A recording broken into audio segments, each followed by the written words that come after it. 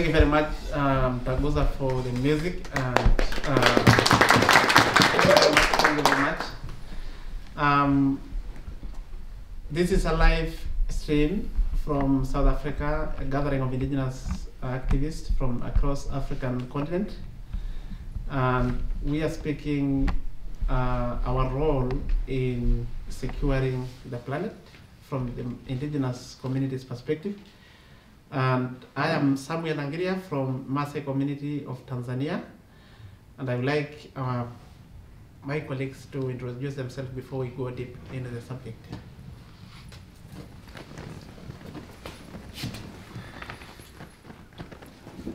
I am Francis Shomet Balanangesa from Tanzania, from the Maasai community. And uh, I am one of the co-founders of a Pan-African Living Cultures Alliance, which is a very big strategy we are working on in an attempt to unite indigenous uh, communities in the African continent in order to conserve environment, to revitalize our cultural system, and to contribute to the efforts to save the planet from possible extinction.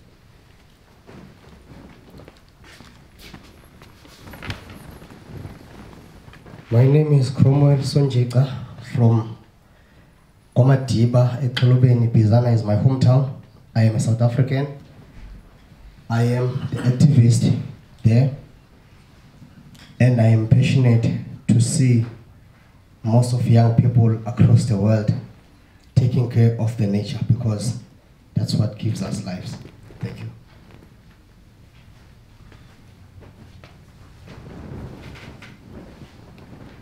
Um, I'm Malungile Changase from Pondoland, and I'm so happy to be here to share the story of our land to other people from other countries. Thank you.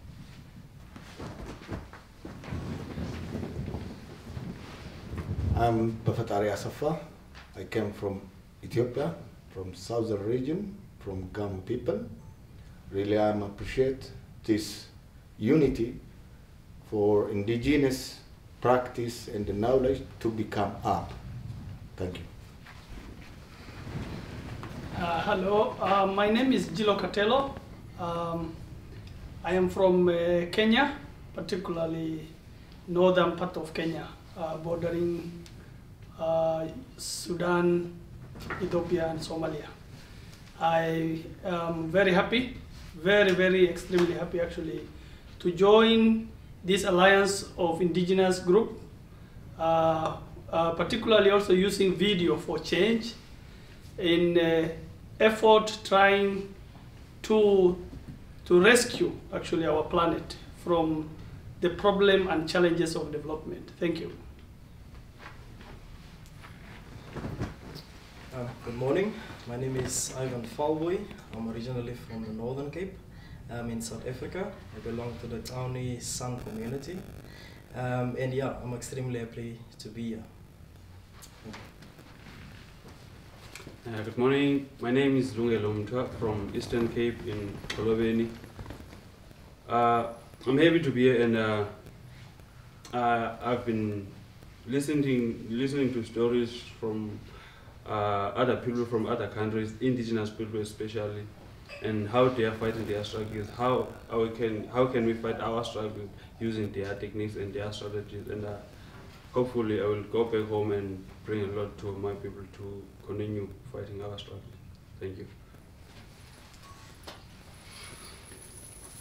Yeah, my name is Askola from the Maasai community an indigenous community from Kenya, the southern part of Kenya, the border of Kenya, and Tanzania.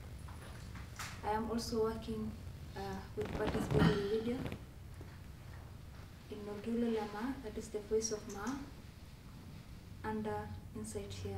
Thank you. Uh, good morning, everyone. I'm Elias Kimaiyo from Indigenous Sengwer community in Kenya, in Western Kenya. So my pleasure to be here to learn and uh, share my experience about participatory future. Thank you.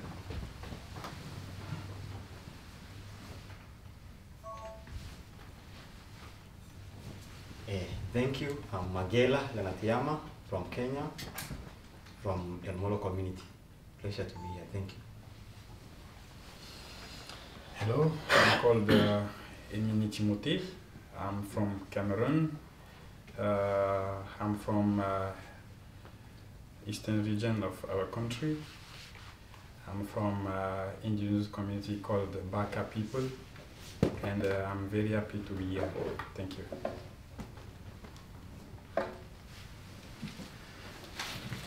Bonjour, je m'appelle euh, Patrick Saidi, je viens de la République démocratique du Congo, dans la grande famille des peuples autochtones pygmées. C'est un plaisir d'être là avec mes frères de l'Afrique, afin qu'on puisse partager ensemble sur euh, les défis qui sont les nôtres, mais aussi réfléchir sur euh, les pistes et les solutions qu'on doit envisager pour euh, faire face à ces problèmes et les défis environnementaux actuels. Merci.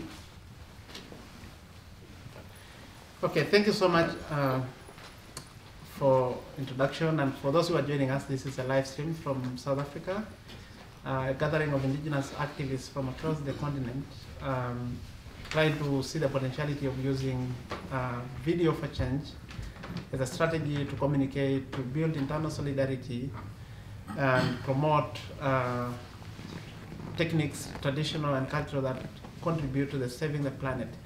And this is um, an event that we are trying to communicate how the living culture and video for change can contribute to the saving the planet. And we understand indigenous community all over the world have been ignored. Uh, their voices have not had an opportunity to join the mainstream voices. And we have a lot of untold stories about how we relate with nature and what we can really contribute as indigenous people. So I'm here with my uh, tribe uh, colleagues, and they are here to share uh, what we can do and how we can contribute to the saving the planet as from possible extinction. So I invite uh, Amos to start with how the indigenous knowledge from the Maasai community can contribute uh, in this strategy where we see the whole planet is, is, is now in danger of extinction. Okay, as my colleague say, my name is Amos Leuka. I came from Kenya, Maasai community, and I'm passionate about the connection we have here as indigenous people. Our aim of uh, forming an alliance, which I'm happy to be a member, is to make sure that our connection remain as community.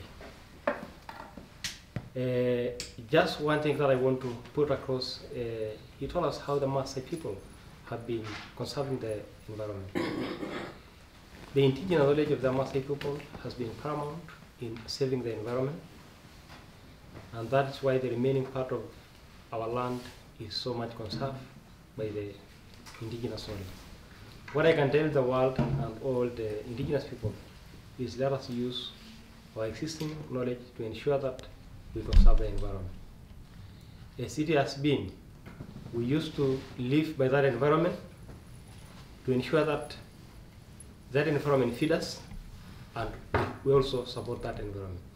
Our culture respects that and that is why it remains the way it is. We are being faced by a number of challenges. These include mega development projects which are being brought and bring a lot of destruction to the environment. It also includes a change of livelihood where people are running to make a modern life and our uh, uh, coexistence with the environment has been friendly. So what I can urge the international community, our governments in Africa, let us embrace our cultural system, which respect and honor our environment. And for those who are joining us, it's a live stream from South Africa, and this is a gathering of indigenous people activists from across the continent uh, who are passionate learning how video can be used as one of the tools to promote uh, the recognition, promote their ways of life, and also to advocate for the rights of their communities. Uh, I invite uh, Shomet to, to share with us how can we as indigenous people contribute to the journey of saving the planet or rather are we how much are we feeling about the destruction and what is happening in our communities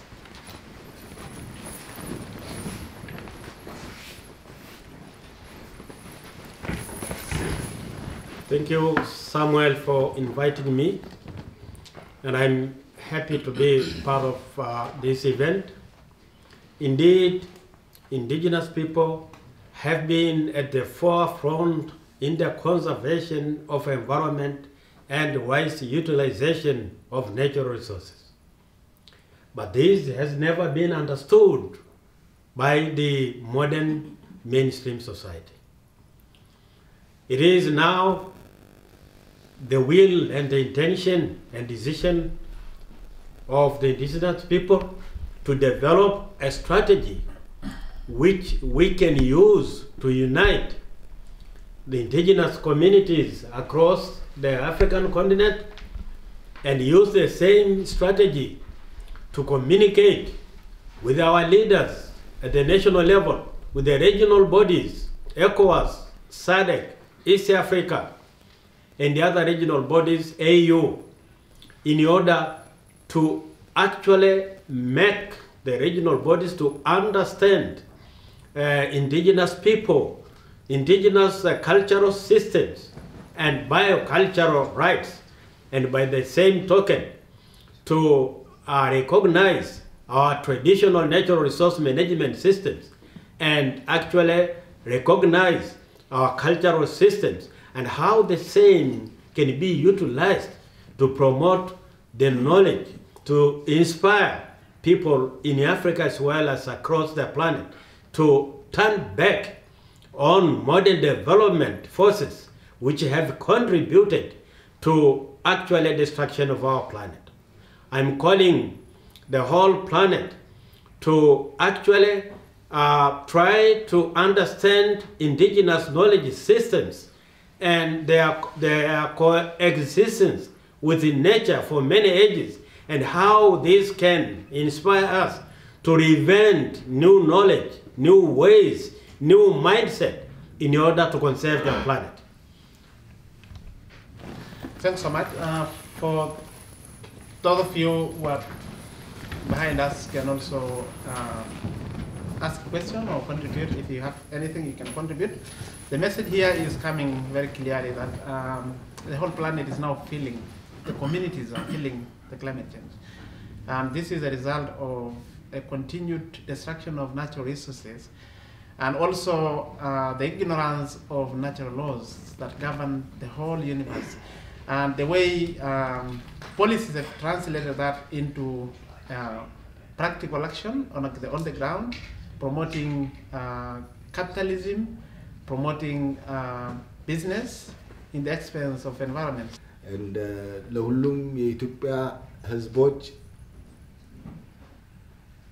የነባሩ ህዝብ እውቀት ወደ ዓለም መጓዝ አለበትና ሁላችንም ስለ ነባሩ ህዝብ ነው ማሰብ ያለብን። እቺ ዓለም ተፈጥሯ ተጠብቆ አካባቢዋ ጸርቶ የምናየው ወንዞቿ ሁሉ፣ አበቦቿ፣ ወፎቿ ሁሉ የምናየውና ልናድግ የምንችለው በተለይ አፍሪካውያን በጋራ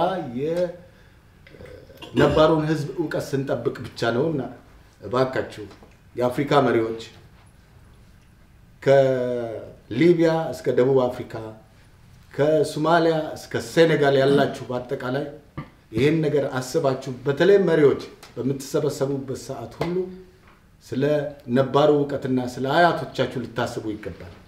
Just I try to by English listen all African leaders.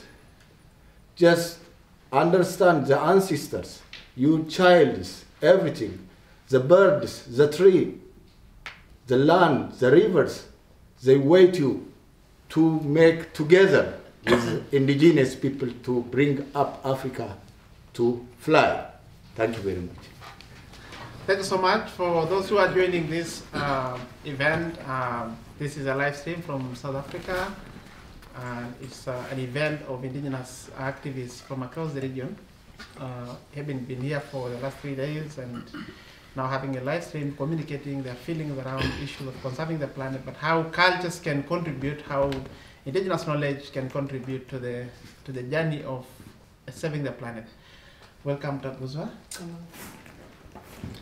um camagwini um ndiyacamagusha kogogo ndiyacamagusha komkhulu camagusha kwizikhawukhawu zasengetheni camagusha kwizikhawukhawu zaselagcwayibeni camagusha kwizikhawukhawu zakwamoya ndibiza onke amabandla kule ndawo sikuyo uh, i've just uh, sent my greetings and acknowledging the ancestors of the space and acknowledging the space and calling all nations into the space equally my name is Mtwagazi. Uh, I'm a rural activist. I'm a traditional music activist using um, the idea of uh, a calabash, which is an object that uh, speaks uh, unity, which is an object uh, that is uh, multifunctional. From a nutritional point of view, you can cook and eat it, you can roast the seeds and eat them. From a therapeutic point of view, uh, you can actually make music out of it. You can store herbs, you can store, you can make sour milk, uh, you can actually recycle and make jewelry out of the same object. And the challenges that uh, I face uh, in my village trying to working with children and reviving and preserving our indigenous music uh, is that our people have tend to look down on the messages of the earth because this is one object that comes from the earth. So how I connect with my ancestors with the earth is that every October we plant uh, these instruments with the early childhood development from my village and not to be necessarily narrow about where I come from, but it's a dream that I hope to see uh, taking place on a transnational or in a global uh, level uh, to have all nations celebrating this object because it's the object of our forefathers. So how I heal the earth is that I, I use music to connect with the earth. And with music, I can get messages on how I envision a better future with equity and anti-black racism and uh, the eradication of white supremacy so that our people can find space of belonging and can sp- find space of healing. Uh, my name is Mtwagazi and I have spoken. Thank you so much, Mtagazi, for your powerful uh, message across using the calabash. And for those who are just joining, this is a live stream from South Africa, uh, the gathering of indigenous activists from across Africa, uh, talking about how we can contribute to the process and, and the journey of saving the planet by using our traditional and indigenous knowledge uh, that has seen to be resilient and been struggling against development and new colonial uh, colonialism that is rampant across the planet now. People coming up with money and destroying the environment. So I'm calling upon Patrick uh, from Congo to, to share with us um, wisdoms from his community. But also, if anyone is having questions and or any comment, you can just let me know. We can invite you. Ok, Samuel. Mon nom c'est Patrick Saidi, je viens de la République démocratique du Congo. Et euh, pour nous, donc euh, les autochtones, c'est un plaisir d'être ici, euh, non seulement pour faire part aux problèmes qui sont les nôtres, comme les- mes collègues l'ont dit. Actuellement, il y a beaucoup de problèmes dans le monde, il y a tous ces problèmes liés au changement climatique, mais il y a aussi des problèmes auxquels les autochtones font face au niveau local, notamment tous les problèmes liés aux terres, tous les problèmes liés aujourd'hui à la disparition de tous ces savoirs endogènes, de toutes ces connaissances traditionnelles, comme euh, on vient déjà de l'attendre. Mais il y a aussi des défis actuellement liés à nos langues traditionnelles qu'on est déjà en train de perdre aujourd'hui. Or que si nous faisons la comparaison, vu la façon dont le monde évolue, on comprendra aujourd'hui que ce sont les terres ou les espaces où vivent les peuples autochtones qui sont encore le mieux protégés. Alors comment effectivement nous amener dans ces défis mondiaux en capitaliser effectivement les espaces qui sont les nôtres et qui constituent aujourd'hui la solution idoine à ces problèmes liés au changement climatique. Les autochtones ne sont pas les destructeurs de la terre, mais les protecteurs par excellence. Donc, prendre en compte les autochtones, prendre en compte leurs contributions, prendre en compte effectivement leurs savoirs endogènes et pratiques traditionnelles revient à donner une solution à ces problèmes actuels, à ces défis actuels qui est le changement climatique. Merci. What, what can you say about uh, that collision between development and saving the planet? Obviously, uh, we're at crossroad in terms of development and uh, indigenous uh, livelihood. For example, I come from Gabra community, generally Borana Oromo speaker in northern Kenya. Our livelihood, just like Maasai and any other pastoral community, depend on livestock. Livestock is about mobility. It's about movement within the rangeland. And uh, rangeland for us, a big vast land for us, as is, is very useful. We don't build skyscrapers, we don't build roads, but they are very useful. Our livelihood, our livelihood is about those livestock, and those livestock is about huge vast land. But for any other person who comes from outside, or any development mentally, I mean, a, pro development person who think that road construction, railways uh, is useful, then he will see the huge land that we have as a wasteland. Is it true? Isn't it? So, what we are saying is this that it is very much incompatible. Development and pastoral livelihood, for example, cannot marry each other.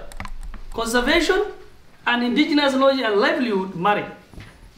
So, it is important for us to be in, uh, to make sure that as we develop, we become conscious. Because, for example, if the highways and roads in northern Kenya, for example, speaking of my community, the LAPSSET that is going to clear the rangeland, huge rangeland, is going to bring huge problem to pastoral community. Why? The road and the highways, those who are, will manage to build petrol stations, those who will manage to build big hotels are the people from cities. How about the pastoral community who has lived there since time immemorial? The fruit is too high for them to reach, and their livelihood has been shattered. So the same way, like Maasai, like Gabra, Borana, Rendille, Samburu, Sakuye, for example, talking of Kenya, these are all pastoral communities, and their livelihood is pegged on land, and development must be conscious. If you are to develop, I don't know what, the way Mr. Sean said yesterday, this animal called development is very daring.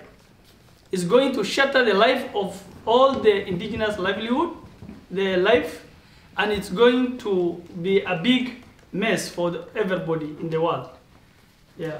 Thank you, thank you, Thank for thank you for your contribution. Right. This is very becoming very clear that um, um, uh, development and and conservation of nature are two different things that Yeah. do not go together.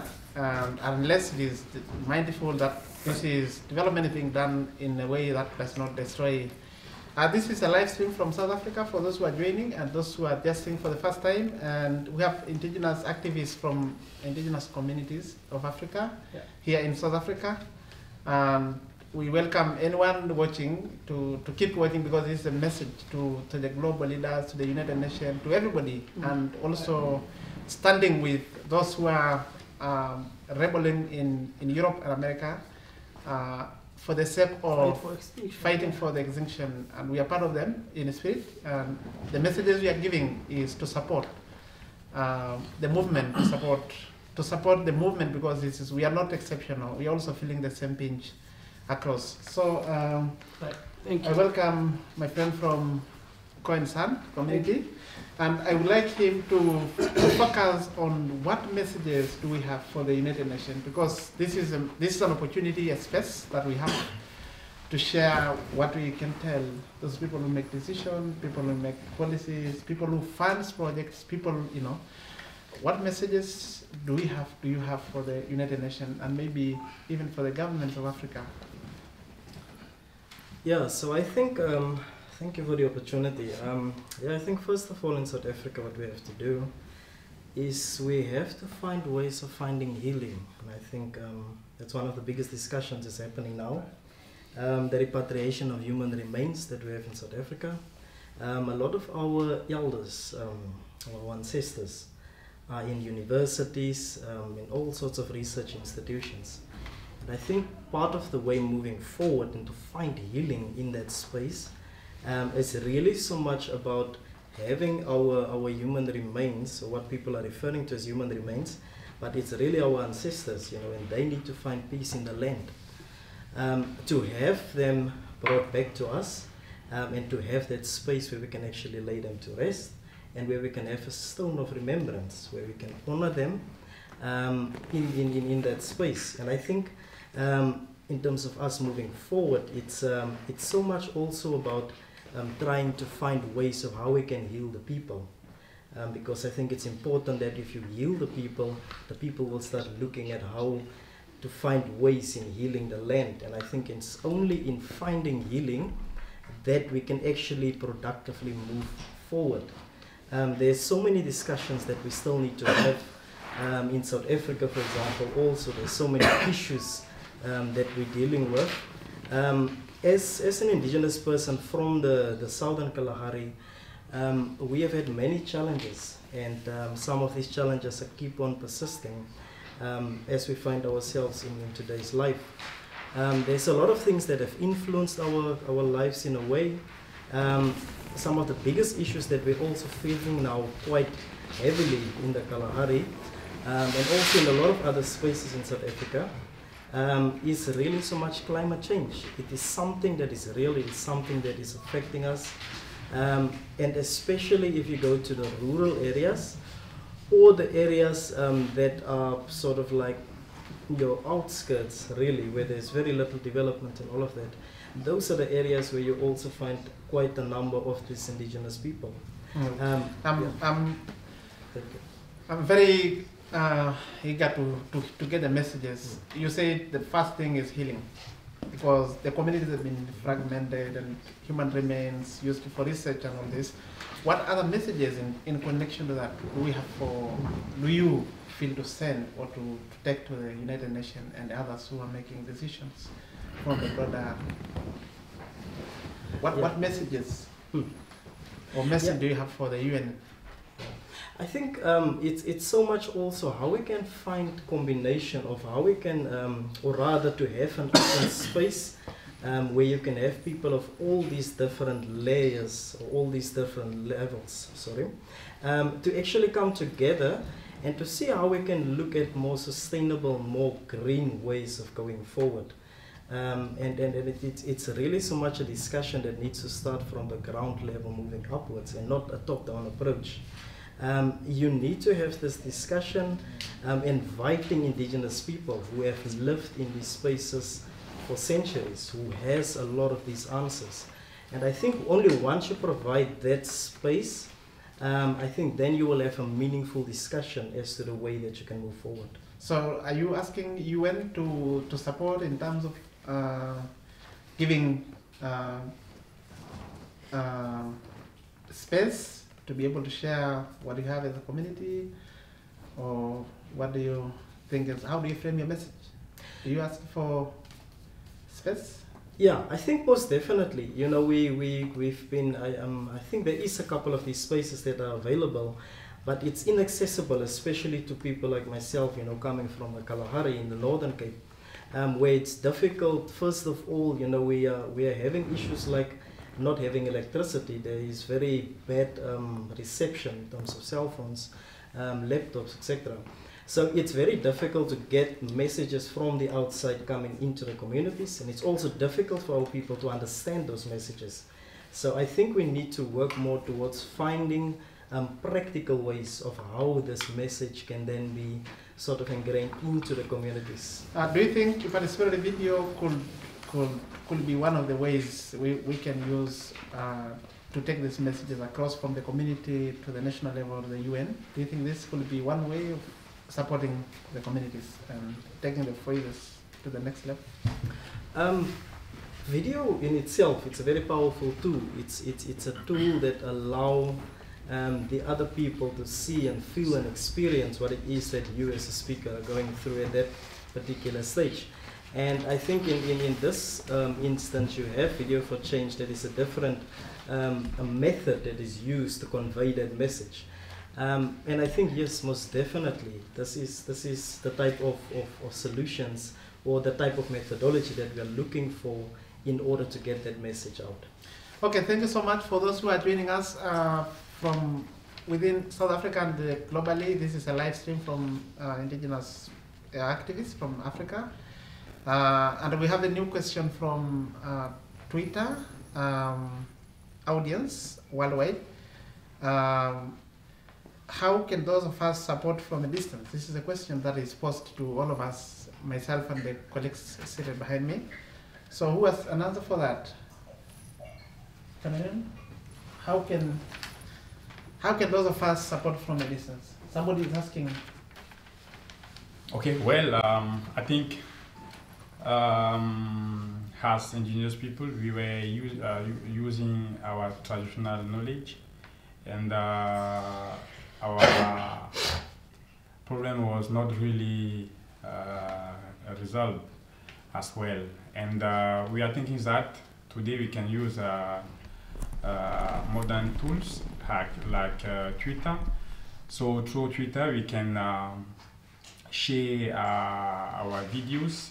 We can talk to other uh, communities. We can talk to even uh, members of uh, uh, United Nations or UA uh, to make sure that uh, we indigenous peoples we can also use this kind of um, tools to the network to int- internet so because we know that today um, many people uh, use uh, even facebook or twitter and um, by the video for change uh, is going to be uh, an opportunity a way for us to, to share to the world what we are facing uh, in our com- uh, communities and in our countries. So i think that's what we can do through twitter. To support the movement has started and this is the beginning of the movement. And your support can is really to make this movement moving forward to reach the people who are not with us today to ensure that we have all the indigenous people on board. That is the support we can give. So we need all financial support the resources support and also any support that make us come together and share our common knowledge. Thank you so much. Um, the movement has started in Africa, and this is uh, anyone wanting to support. We will share uh, how, because we are working with networks from other places, like InsightShare, which has been supporting with the Video for Change and participatory video as an approach that brings indigenous people together. And very quickly, we are seeing some results of this because if it were not for the participatory video that we've just started two years ago, it is now uniting the African continent. Um, I'm inviting Lunkelo, Lunkelo to be able to speak about uh, the connection between uh, the young generation and the land, given the challenges of technology, globalization. What can you say about your connection with the land of your youth, but also traditional knowledge and, and the cultures of your community? okay, before, before I go, I'd like to say, uh, according to the stories that I've heard and people have shared, I've realized that what defines an indi- indigenous community or people is their language, is their culture, is their way of living, is their connection. And and as I'm one of the youngest people to be in this gathering, I've I've realized that uh, most people that are trying to save Earth, people who are trying to use indigenous knowledge to to save Earth from extinction, from uh, all the all kind of destructions, uh, are actually old people.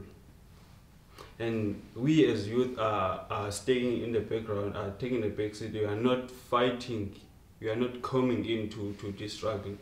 And I think we will realize the importance of this when the time is right. And we as youth, I think uh, because we are kind of sophisticated about uh, technology and using videos and, and those uh, internet stuff, I think it's our, it's our time to, to, to join the movement, to join the struggle, and start using videos for, for change, and start using videos to, to, to rub, to erase the borders between Africa. Because I think that's one of the main uh, cures, the main remedies that we can use to, to, to save this. If we can erase the borders between, Af- between countries in Africa, and we say one Africa under one roof, not umbrellas in each and every country, but one roof. Because I've realized that we are fighting the same struggles. That result means that we have same roots. Because we are all fighting a struggle of, ra- of land, struggles of being evicted from our native land, struggles of uh, fighting for forests, fighting for, for, for grassland. We are all fighting the same struggles. And some countries like uh, like uh, from Tanzania, Maasai people uh, uh, have control in their land now, and I think we can share in this gathering as we have shared some some some strategy. We can share uh, the ways that we can use indigenous knowledge to fight struggles, and But, but, but you as a youth uh, from indigenous community, do you feel part of the process of defending your land and do you have opportunities uh, within your community? Uh, do you feel like being recognized by the elders and other people? Or do you feel isolated? What is your position? Very briefly. Okay, my, my position, I, I feel uh, because uh, indigenous knowledge still exists in them, in, in, in all people, and we as youth, we don't have that much knowledge. If we can try to penetrate to them and we ask for knowledge and how they are doing things, how they were doing things before, and uh, I think that can help us to understand first indigenous knowledge. Then we can use their knowledge and meet with ours of, of the modern world to to to to try to, to, to change the things and to, to, to go back to, to our roots to restore our culture to restore our humanity to restore to restore respect because Mm. as, uh, those are the elements that define a person Thank you so much uh, for for those who are joining. Um, uh, this is a, a live stream from South Africa, uh, a gathering of indigenous activists from across Africa.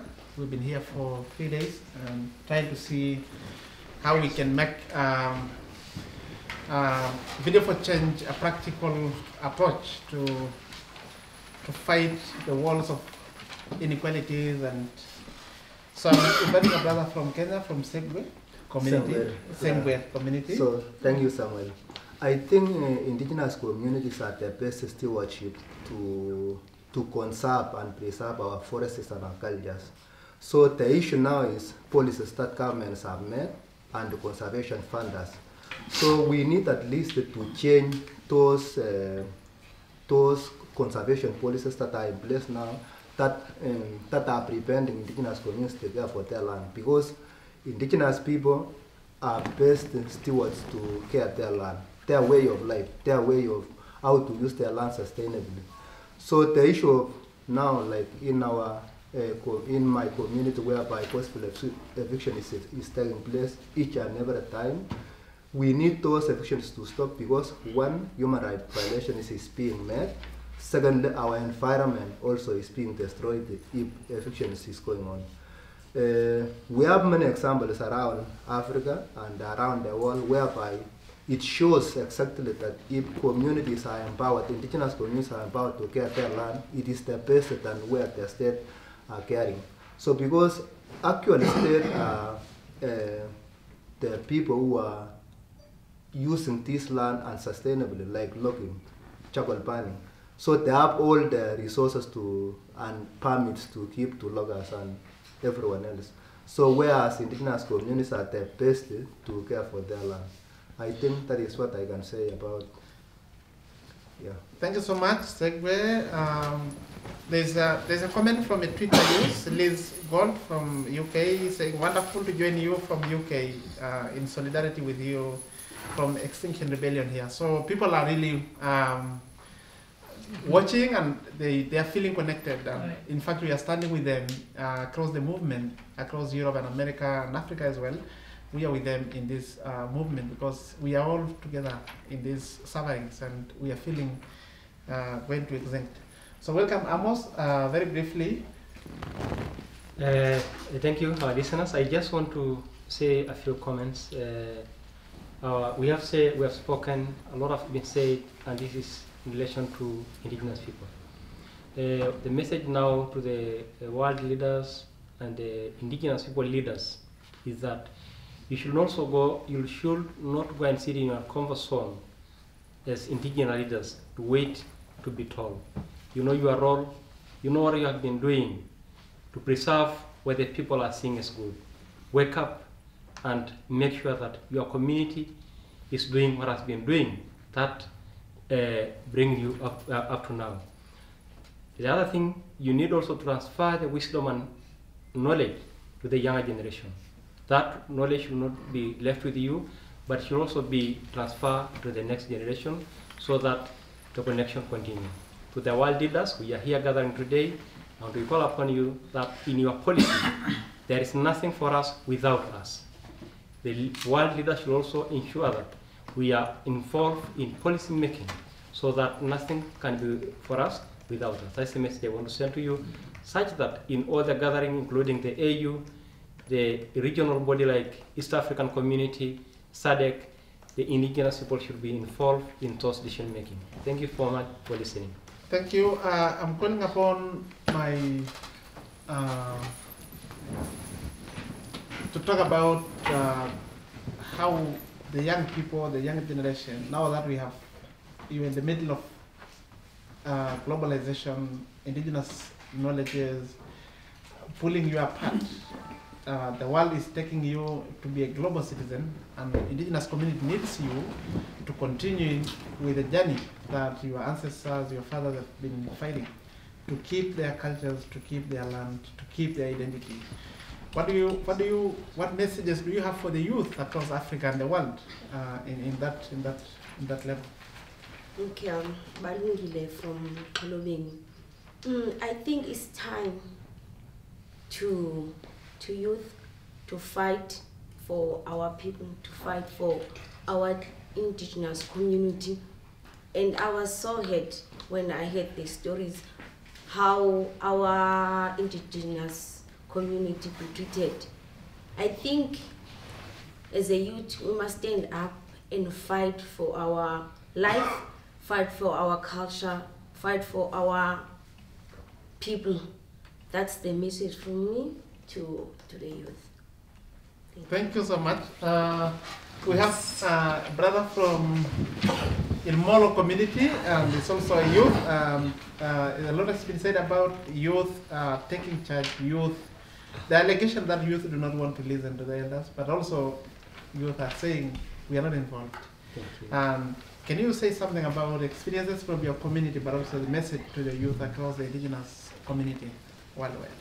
Uh, yes, thank you, Brother Hamos. Uh, my name is Magela Lenatiama from El Molo community.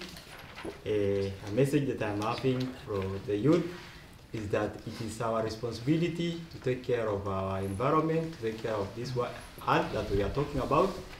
The art is for all of us, the, the minority or the indigenous people or for everybody. So it is the responsibility of each and every person, of each and every youth, to be responsible in the caring of their art, in the caring of its environment. Because as a youth, as it has been said that the, the, the future belongs to us, so it is our it is our responsibility to get hand together and work for the what we want, the art that we want to be. Or anyway, we should not have the life after the, there's no life after this. Thank you. Thank you so much. Uh, my brother from Cameroon, uh, if you have comments on the messages to, to the global uh, leaders, to the policymakers very quickly, like one minute, because we are we are winding up very soon. Okay, thank you. Uh, um, I just want to say that uh, it's uh, very important for us, like indigenous people, to have firstly a kind of uh, network uh, concerning uh, indigenous media, where we can share together from Central Africa to the East Africa to the North, to, so to make sure that we we uh, have our own media that we can uh, fight through the video for change. And uh, I just want also involve UA to make sure that uh, our laws in our country uh, take really effectively uh, into account uh, our land, our rights on the land uh, and uh, on the forest.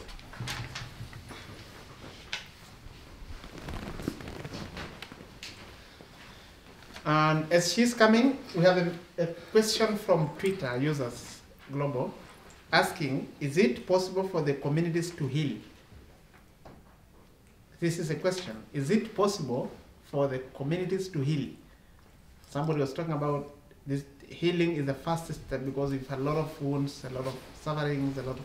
So this is a question that we need. Uh, maybe Shomet will address after after Mtaguza has spoken a message to the indigenous women, indigenous people across the globe about what can we, um, what is the message we have for solidarity and I think the message will also come from the question itself that uh, as someone who has taken uh, a long journey into the space of healing, I still also find strongly that healing becomes the first solution for me to heal self, to heal others, and who heals the healer, because also the healer too needs healing.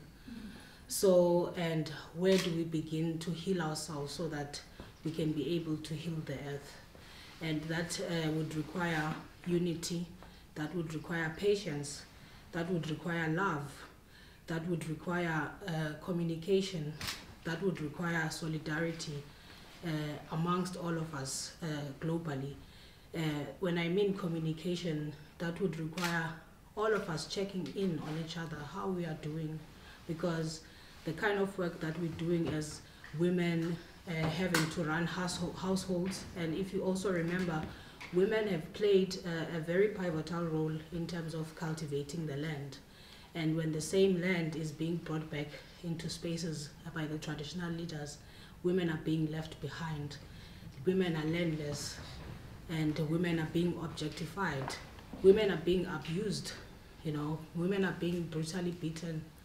And uh, that pain, that excruciating pain, remains a, a very significant part of healing.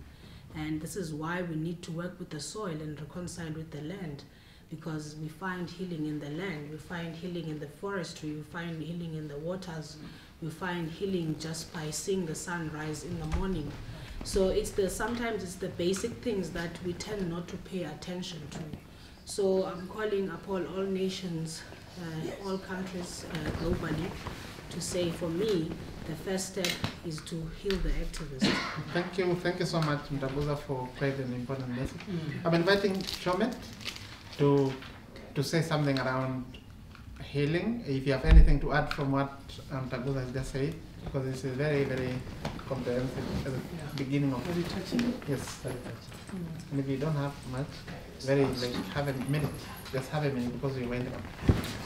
Yeah, I, I agree that the, the healing process is very important uh, because many scars and wounds have been inflicted uh, through many years of, uh, of uh, uh, dispossession of land and other natural resources.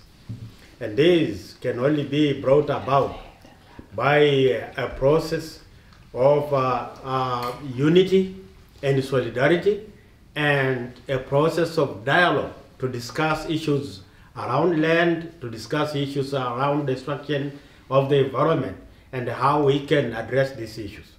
So I think through the strategy of uh, establishing a solidary entity, an entity which will promote solidarity among indigenous people, this healing process will be possible.